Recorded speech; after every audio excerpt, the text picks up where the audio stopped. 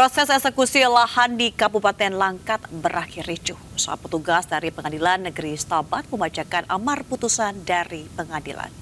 Warga kebanyakan emak-emak menolak mengosongkan lahan.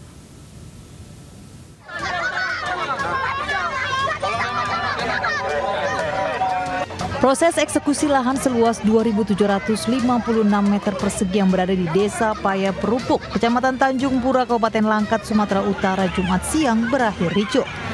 Sambil berteriak histeris, sejumlah warga tergugat yang terdiri dari para ibu dan anak-anak memohon kepada petugas dengan menaiki eskavator untuk tidak melakukan penghancuran terhadap bangunan rumah dan tanaman mereka.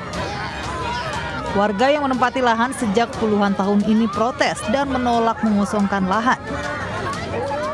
Sementara upaya pengosongan lahan melibatkan sejumlah pihak dari kepolisian, perwakilan pihak pemerintah dengan menurunkan dua alat berat dan petugas PLN untuk memutus aliran listrik ke rumah warga.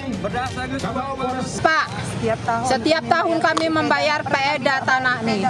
Nah, setiap tahun kami membayarnya, Pak. Kenapa Pak kami harus diskusi juga Pak?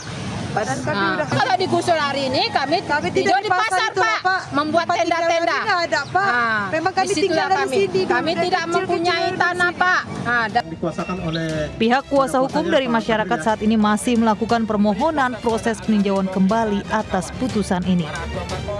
Dari Langkat, Sumatera Utara, Erwin Syah Putra, Ainus melaporkan.